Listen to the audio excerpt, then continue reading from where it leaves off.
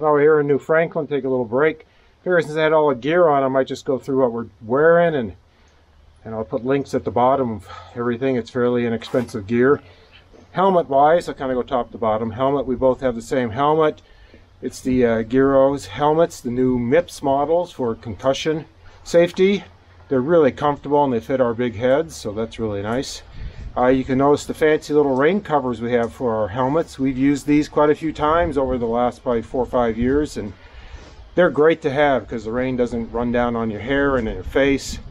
Plus they're bright, so that helps with safety. Usually we wear glasses.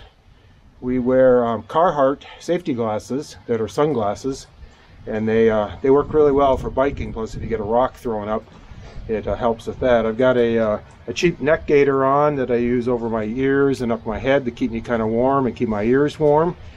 When I'm riding in warm weather, I do wear um, a microfiber sweatband because it really helps me. They last about 15 miles or so, and I have to swap them out.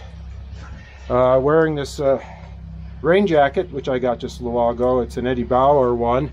It's kept me dry over two days of raining here on the Katy Trail, so it's worked really well. Plus it's a brighter color. Julie has a uh, Columbia jacket that she wears, and that's been a trusty jacket for her. She has a little marmot uh, thing that she wears headband. with a headband, yeah, and neckband and gaiter and so on. She got a Tour Mount Tour de Mont Blanc that we did a few years ago.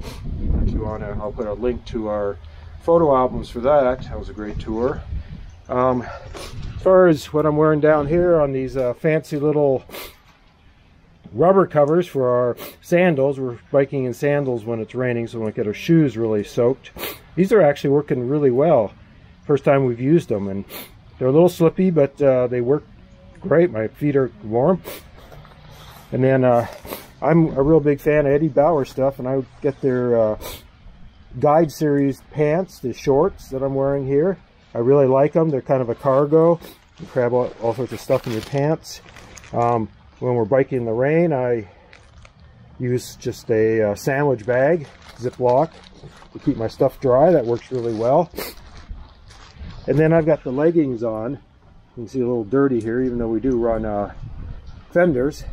But these are really nice. Keep your legs warm and they don't get too too wet or anything like that. They seem to repel the water really well. I don't... Julie has some uh, Gander Mountain rain pants on there are our guide series rain pants that we've had for a long time and she likes those. I get too hot with them. As far as the bikes go, I've got a couple wet sacks. This one I just picked up off an Amazon and put on my handlebar, kind of jerry rig it, and it works well. Uh, you can see my handlebars are butterfly bars. I've been running those for about six months, or a couple, almost a couple thousand miles. I like them because you can change hand positions. We have bike meters on our thing, CatEyes. We like to have those just for the mileage. We both run mirrors.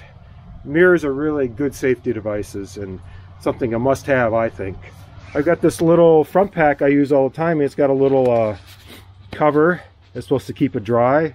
Doing a minimal job at that, but probably better than nothing. And then the, the bag itself is quite quite dry. I have my camera and I run a uh, another phone in there for tracking our miles on Ride with GPS and any other sorted snacks and so forth. Uh, we run flashers. I've got a front flasher for me. Julie doesn't have one. But we love these uh, lights. They're bright and they, people really notice you and that's a real good safety feature to have. As far as bottles, just run two bottles. These are from our VBT trips that we took. They're nice 20 some ounce bottles, carry a lot of water. My bike itself is an old Trek 7200, the first year they made them. It was just a seven speed cassette at the time. I'm running an eight speed on it, but only shifting seven because I put new uh, 14 gauge wheel on the back, which I really like. My old wheel was starting to pop a lot of smoke, so I put these on heavy duty. Okay, we bought, both run them. This is stock wheel still on the front. I replaced my forks because they were the uh, shock forks and you couldn't lock them. I hated them. So I got an old, a used Schwinn fork off of eBay and mounted them. And you can see we're running fenders, which, boy, those have been great on this trip. But we like it because uh, it keeps the stuff from throwing up. And these are Planet bike fenders. Great stuff. Uh, Our bike racks are really heavy duty ones. They're about 50 pounds, 55 pound capacity. Really like those. You can see my back flasher.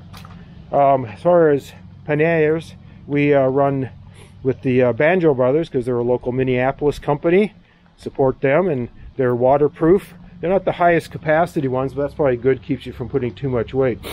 I thought I had four of them, but I only had three and I just grabbed an a, uh, wet bag I had for kayaking that we use and it's working pretty well just kind of jerry rig it on there with the bungee cord and a, uh, a nice little nylon cord carry an extra two uh, tire just in case we're also carrying extra tubes each we run the uh, Banjo Brother uh, bike bags and you can see we hook up our flashers to those Julie's bike is a Gary Fisher which was bought by by Trek, unfortunately. But she likes it. It's a woman's bike, but it's a men's size frame.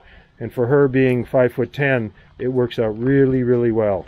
She has her water bottle mounted up here on the front bar and under under so she can carry. She has a bag she uses also and a cycle meter and the Banjo Brothers panniers and bike bag.